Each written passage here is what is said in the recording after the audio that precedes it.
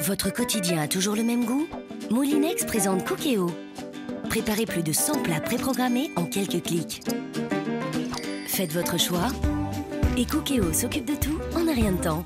Avec Cookéo, le premier multicuiseur intelligent de Moulinex, rien de plus facile pour changer votre quotidien.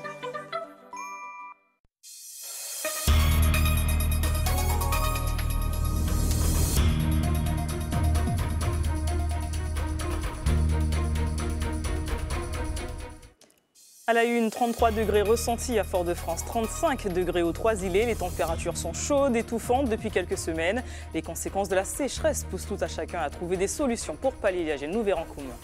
Et un autre bémol perturbe ce long week-end, ce sont les sargasses. Les algues envahissent encore la côte atlantique.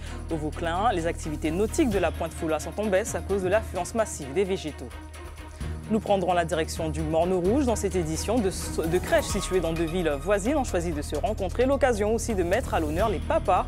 Petits et grands ont pu tisser des liens grâce à différentes activités sportives. Et les meilleurs joueurs de Scrabble des Antilles-Guyane se sont affrontés tout ce week-end dans l'île. Assidus, déterminés, confiants, leur objectif être sacrés champions. Nous sommes allés à la rencontre de deux passionnés. Bonsoir, ravi de vous accompagner pour cette heure d'information. La sécheresse qui sévit depuis plus de deux mois commence à poser de sérieux problèmes, coupures d'eau intempestives et niveau des rivières au plus bas. Alors que la préfecture appelle à la solidarité citoyenne, certains ont déjà adopté le système D. Quant aux autres, ils profitent de ce long week-end pour se rafraîchir sous ces 35 degrés ressentis aujourd'hui. Laura Châtenay-Rivaudet, Hélène Renaud. Des terrains de golf couleur sable, en cette période de forte sécheresse, l'arrosage des greens est bien plus délicat. Pour irriguer les 60 hectares du domaine, Roger Julisson utilise l'eau du lac du Golfe, à sec en ce moment. Il est obligé de puiser dans la citerne. Ce matin, j'ai arrosé euh, à 2 heures du matin, green par green, parce que comme il n'y a pas assez d'eau, alors ça me prend plus de temps à, arroser que, que d'habitude. Les joueurs disputent un championnat sous une chaleur torride la sécheresse change le swing. Ça change beaucoup le jeu du golf. Normalement, c'est plus difficile à porter, à jouer sous le, sous le gun. Et normalement, ça roule pas normalement. D'autres profitent du long week-end de Pentecôte pour se reposer à l'abri de la chaleur. Micheline Duclovel et ses amis campent sur la plage. Leur journée est calibrée en fonction de l'aridité du soleil. On se baigne très tôt le matin, à 5h30, 6h. On passe le reste de notre temps de notre maison de fortune. Et puis euh, le soir, quand ça commence à descendre, le soleil, et puis euh, on les fait boire beaucoup, beaucoup d'eau surtout. Leur meilleur allié du moment, le vent. Notre clim naturel. Regardez, vous voyez, il y a beaucoup de vent. Euh, donc, même s'il fait très très chaud, mais c'est très ventilé, donc on ne ressent pas trop, trop, trop la chaleur. Les habitants du quartier sans pareil dans les hauteurs de Rivière-Salée ont eux constaté de nombreuses coupures d'eau cette semaine. Vincent Tiberinus s'organise et stocke pour les jours de grande sécheresse. J'ai fait des réserves d'eau, donc euh, c'est assez suffisant pour se baigner, pour euh, faire la vaisselle, euh, puis alimenter les chasses d'eau.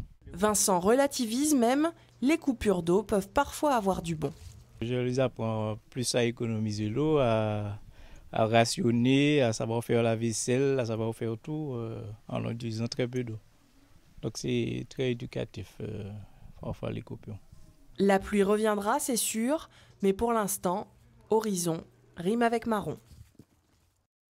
Vous venez de voir les dégâts qu'entraîne, ce, phénomène. L'herbe est verte, devenue jaune, presque grillée. Des mesures de précaution sont exigées pour pallier le manque d'eau. La situation s'intensifiera-t-elle? Des trompes d'eau salvatrices sont-elles à prévoir? Pour en parler, nous recevons ce soir Jean-Noël Degrasse, responsable de Météo France Martinique. Bonsoir. Bonsoir. Alors la sécheresse désigne en premier lieu un déficit en eau, mais à quel type de sécheresse la Martinique est-elle confrontée? C'est très simple, hein, dans, les îles des Petites Antilles, euh, quasiment partout, euh, bah, c'est de la pluie qui amène les réserves en eau, hein, y compris la hauteur des cours d'eau.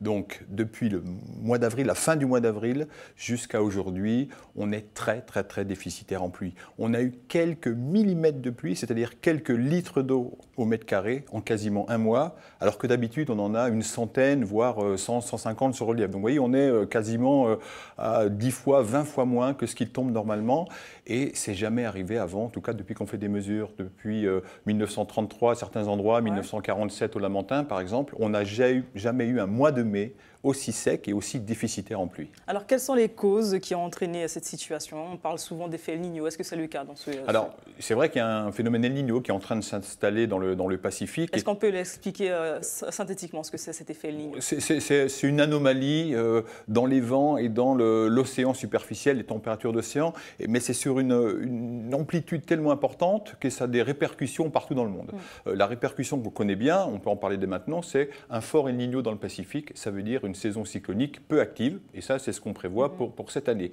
Mais un El Niño qui s'installe, ça veut dire aussi, en général, un déficit de pluie, alors surtout quand c'est le carême, un déficit de pluie sur les petites Antilles. Alors, ce n'est pas le seul facteur euh, important, parce que vous l'avez noté, on a beaucoup, beaucoup de brume de sable. Donc, qu'est-ce que ça veut dire? Ça veut dire aussi de l'air qui vient du Sahara, mhm. donc qui est chargé de sable, donc qui est aussi très très sec. Et c'est cet air qui nous envahit quasiment depuis un mois. Et là aussi, c'est exceptionnel. On n'a jamais eu autant de brume de sable. C'est une question, à, une question à laquelle tout le monde se pose. Est-ce que le phénomène va perdurer? Alors, euh, on aura un petit peu moins de brume de sable en début de semaine, mhm. un petit peu moins de vent aussi. Alors, juste une petite anecdote euh, sur le vent. C'est vrai, on dit souvent que le vent rafraîchit, c'est bien, mais le vent, dans les conditions de sécheresse, c'est un facteur aggravant important. Il ne faut pas l'oublier. Plus de vent, ça veut dire plus d'évaporation. Ça veut dire des plantes, euh, en gros la nature qui a besoin de plus d'eau. Est-ce qu'on aura de la pluie Et donc, est-ce qu'on aura de la pluie? Alors, on va changer de temps euh, à partir de jeudi parce que la première onde tropicale qui est sortie d'Afrique va arriver. Vous savez, les ondes tropicales commencent à arriver à partir de début juin, alors on y est. Malheureusement, ce n'est pas une onde très, très ça active. Sera pas suffisant pour ça ne sera pas suffisant, mais ça va quand même changer un petit peu. On n'aura pas cette impression d'air sec et mhm. étouffant et brume de sable. On aura quelques nuages un petit peu plus développés. On espère quelques averses sur le relief, mais euh, vous l'avez dit, on, ça ne va pas être suffisant pour combler le déficit important de ce mois de mai. Très bien, merci d'avoir répondu à nos questions. D'ailleurs, les conséquences de la sécheresse inquiètent également les services de secours. Les pompiers appellent aussi à la vigilance. Quatre départs de feu ont été rapidement circonscrits aujourd'hui. Des feux suite à des négligences. Et avec ces fortes chaleurs, quoi de mieux qu'un baie de mer Une idée à laquelle les Vauclinois ont dû renoncer. Le retour des algues sargasses sur les côtes atlantiques est massif. Encore une fois, aux grandes dames des vacanciers et des professionnels, Isabelle Ferrière est allée à leur rencontre. La pointe Fola, un petit bout de paradis. Malheureusement, dans l'air flotte un parfum nauséabond. C'est au beau milieu des sargasses que les baigneurs barbotent aujourd'hui. Quand je vais me baigner dedans, eh ben, c'est gênant, c'est mouvant, ça pue et c'est dégueulasse. Heureusement que quand on regarde au large, on voit le bleu, mais sinon quand on arrive sur la plage comme ça, ça ne donne pas envie de, se baigner. La semaine prochaine, bon, c'est clair que si, euh, si j'ai encore deux jours, je ne vais pas retourner ici, j'irai ailleurs. On évite de rester sur le bord où il y a le, sargasse, on essaye d'aller beaucoup plus loin avec eux. Et puis on surveille euh, l'état cutané, on regarde la peau, savoir s'il n'y a pas de rougeur, et on les rince de suite derrière. Des inquiétudes légitimes au vu des mises en garde affichées au poste de secours. Il faut euh, éviter euh, de toucher les, masses d'algues flottantes. Alors certaines personnes peuvent, peuvent avoir des allergies, d'autres pas. Euh, c'est pour ça qu'il y a quand même euh, une surveillance et une baignade autorisée. Elles peuvent apporter pour certains des irritations, mais pas pour tout le monde. il y a des personnes qui sont plus sensibles que d'autres. Ces derniers jours, les vacanciers délaissent la plage. Un manque à gagner évident, surtout pour les clubs nautiques. La preuve en ce dimanche de Pentecôte, il n'y a qu'une seule planche à voile sur l'eau. La discipline est particulièrement touchée. On a eu moins de gens et ce week-end, on peut bien voir qu'il bah, y, a peu de personnes qui viennent pratiquer euh, le funboard euh, au Vauclin parce que les algues se mettent dans les ailerons et empêchent du coup de pratiquer l'activité euh, comme on doit le faire. Le problème de la sargasse est vraiment appliqué aux Antillais qui viennent pratiquer régulièrement ici, normalement, mais qui là maintenant changent de spot, ne viennent plus au Vauclin pour naviguer dans la baie parce qu'elle est pleine de sargasses, et vont plutôt au Caraïou, bien qu'ils soient quand même licenciés au club nautique du Vauclin. Les algues sont ramassées régulièrement, la dernière fois, c'était jeudi dernier, mais en l'espace de deux jours, elles sont déjà de retour. Et aujourd'hui, les catholiques célèbrent la fête de la Pentecôte, l'occasion pour de nombreux jeunes de recevoir le sacrement de confirmation qui découle de ce grand événement. À l'église Saint-Jean-Baptiste du Vauclin, autour des 78 confirmés, 1000 paroissiens se sont rassemblés pour assister à la messe présidée par l'archevêque de Martinique, David Macaire. On écoute l'archevêque et les réactions recueillies par Isabelle Ferrière de deux nouveaux confirmés. C'est très important pour moi d'avoir fait ma confirmation le jour de la Pentecôte parce que hum, la confirmation, c'est quand l'Esprit Saint descend sur, euh, sur nous, les chrétiens. Donc euh, c'est important. ça nous permet d'affirmer notre foi. C'est c'est bien quand on est dans l'église, on a un peu des frissons des fois. Et euh, à la fin, on est content. Aujourd'hui, on en a profité pour confirmer quelques adultes. Il y a des jeunes, mais euh, il y a chaque week-end, euh, chacun de ces week-ends a monté une, puissance, une montée en puissance du nombre de confirmants. C'est le jour de, l'alliance définitive entre Dieu et les hommes. Hein. Dieu est uni profondément à l'homme par l'Esprit, par le don de l'Esprit Saint. Donc c'est un jour de fête parce que les chrétiens, quel que soit l'état de leur avancement dans la vie chrétienne, célèbrent la totalité de ce qu'ils ont reçu de Dieu et euh, renouvelle un peu ce don, un peu comme un anniversaire de mariage, de l'alliance entre toute l'humanité et, Dieu. L'hôpital Pierre Zobda Kitman s'est enrichi d'un tout nouveau bijou de technologie. Il s'agit d'une Gamma caméra. Cet équipement de nouvelle génération propose une technique d'imagerie très bénéfique pour le patient. Un médecin, lors d'un seul et même examen, pourra détecter, diagnostiquer et localiser les lésions de manière beaucoup plus efficace. Plus de précision avec Myriam Boakoula. Ces manipulateurs radio du service de médecine nucléaire travaillent depuis plus d'un mois avec un nouvel outil d'imagerie médicale. Équipement dernière génération, la Gamma Caméra permet ici à cette patiente atteinte d'une maladie auto-immune et sujette à de violentes douleurs aux membres un examen rapide. Quelques minutes suffisent ici à la réalisation des images. Pour le scintigraphie cérébrale, c'est deux fois plus vite pour le scintigraphie osseuse, pour la partie, euh, pour, une partie de l'examen, c'est la moitié de, de, temps aussi, mais pour l'autre, c'est pareil. Au total, la Gamma Caméra aura coûté 600 000 euros au CHU, un coût qui s'accompagne de travaux à réaliser dans le service. Objectif, agrandir l'espace nécessaire à l'installation du scanner dans les normes prévues par l'Agence de sécurité nucléaire. On a aussi des, réglementations de l'Agence de sécurité nucléaire qui font que euh, pour respecter toutes les réglementations, on ne pouvait pas installer la gamma caméra sans casser les murs. C'est pour ça qu'on a préféré au moins euh, faire, mettre une partie en fond de, de, la machine, la partie de gamma caméra. Après ça, le scanner sera rajouté dès qu'on aura la, la possibilité. Thyroïde, cancer du sein, de la prostate sont d'abord détectés ici, avant d'être traités dans certains cas dans une chambre plombée à l'hôpital Clarac. Au total, près de 50 patients sont diagnostiqués chaque semaine grâce à cette machine. Restez avec nous dans quelques instants. Nous prendrons la direction d'Anse-Bertrand, en Guadeloupe. La commune a mis à l'honneur le dambré, ce délicieux plat à base de boulettes de farine que vous avez certainement dégusté ce midi. Euh. Puis euh, plein feu également sur le championnat de Scrabble anti-Guyane. Une centaine de compétiteurs se sont euh, affrontés ce week-end pour remporter la coupe. Nous avons rencontré deux passionnés des lettres. Tour d'horizon pour continuer sur l'actualité politique de la semaine, comme chaque dimanche avec André Berton. Bonsoir André. Bonsoir. Alors avec les fêtes et les nombreux ponts, forcément l'actualité politique est au ralenti. En revanche, il semble que se prépare à Paris un remaniement ministériel qui pourrait nous concerner Oui, comme vous le savez, depuis les résultats, résultats catastrophiques pour la gauche des élections départementales, c'est dans l'air du temps et en effet, ça se précise. Mais ce remaniement attendu courant juin, peut-être même dans quelques jours, début juin, n'aura sans doute rien de spectaculaire. Autrement dit, l'équipe gouvernementale ne sera pas profondément modifiée à six mois euh, d'un scrutin important, celui des élections régionales. Au micro de France Culture, il y a quelques jours, Manuel Valls a évoqué seulement des changements ou des ajustements.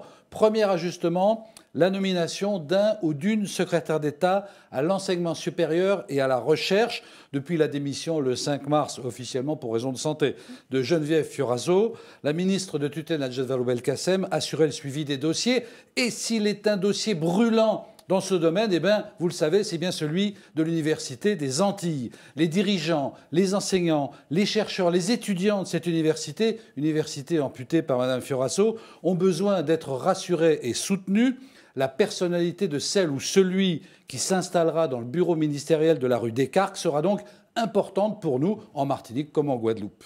Alors, est-ce qu'il y a d'autres changements prévus? Oui, d'abord, l'inévitable remplacement de la secrétaire d'État au commerce et à l'artisanat. Mhm. Carole Delga souhaite en effet euh, se consacrer à la campagne des régionales en Languedoc-Roussillon. Et puis, et puis, le possible remplacement au ministère des Outre-mer de Georges Paul Angevin. Non pas qu'elle ait démérité, pas du tout.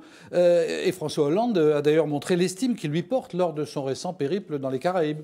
Alors pourquoi devrait-elle alors quitter le Bah oui, gouvernement? c'est compliqué la politique. hein. Bah parce qu'elle a un talon d'Achille qui se nomme Fanélie Carré-Comte. Cette jeune femme de 35 ans, euh, militante socialiste depuis l'université et passionnée par l'économie sociale et solidaire, était la suppléante de Georges Paul Angevin et siège donc à sa place à l'Assemblée nationale depuis l'entrée de la Guadeloupéenne au gouvernement. Et alors, eh ben alors Fanélie Carré-Comte milite parmi les frondeurs du Parti socialiste et soutiendra tout naturellement la motion B, la motion au prochain congrès du PS. La motion B, c'est celle défendue par l'ancien ministre de l'Outre-mer, Christian Paul, avec près de 30% de militants derrière lui. Christian Paul ne gagnera pas le PS, mais il a clairement laissé entendre qu'il pèsera au Parlement sur certains textes et certains textes importants. Le calcul de Manuel Valls pourrait alors être le suivant. Renvoyons Madame Paul Angevin à l'Assemblée nationale en reprenant son siège à Madame Carré-Comte.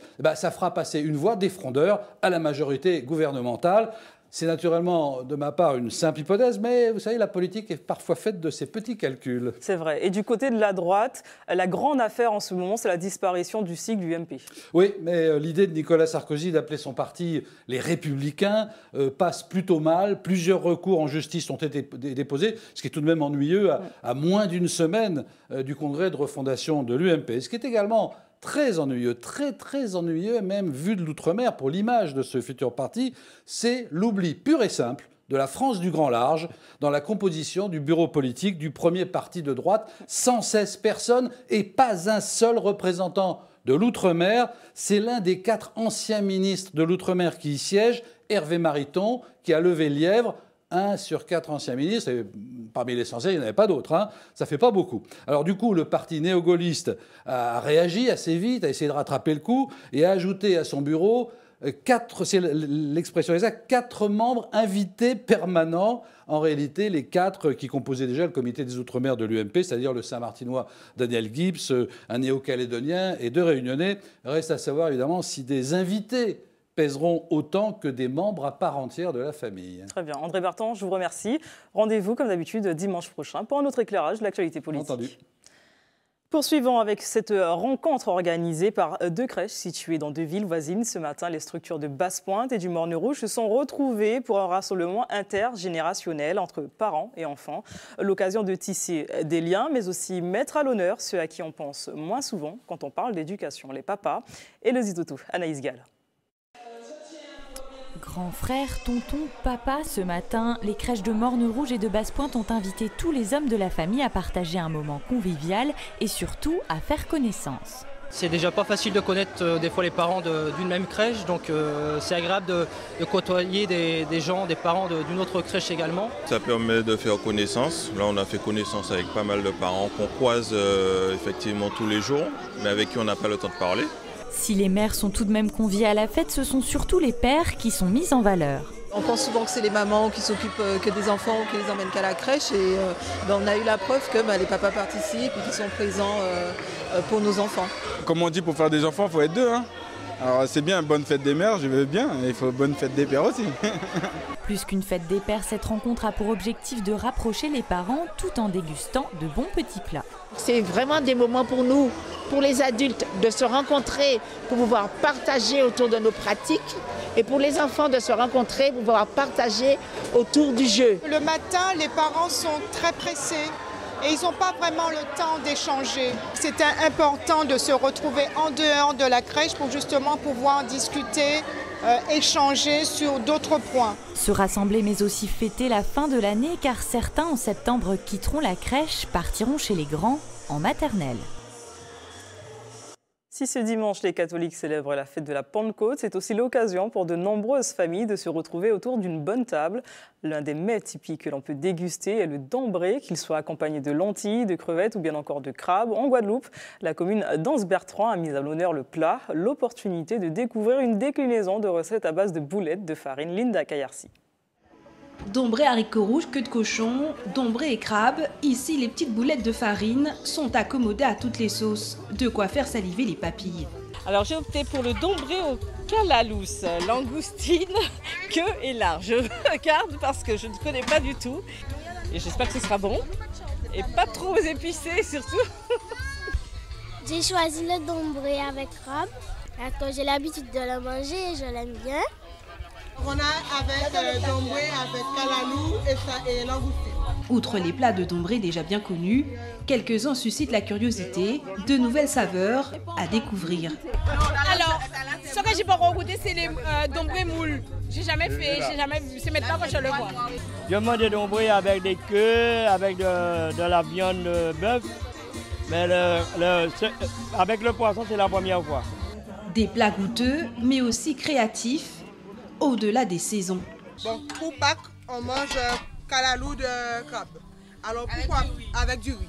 Alors on s'est dit pourquoi pas un dombré à base de calalou avec des langoustines et des petits salés. Bien sûr, chacun a sa façon de préparer ses boulettes de farine.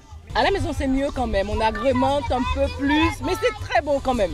Mais au final, ce sont les cuisinières d'antan qui détiennent la véritable recette des dombrés. Le vrai dombré en temps en temps, c'était dombré blanc à gros sel. On fait cuire les dombrés à gros sel, sans rien du tout. On met un bouquet de cible dedans et on fait leur courbure de poisson à part.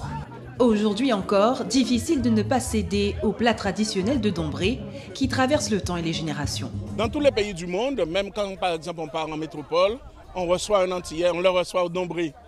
Et euh, c'est une préparation culinaire qui a tendance à, à prendre de l'ampleur.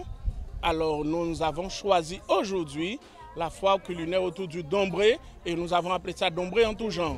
Les dombrés, un mets gourmand et copieux, uniquement avec les yeux, on est déjà rassasié.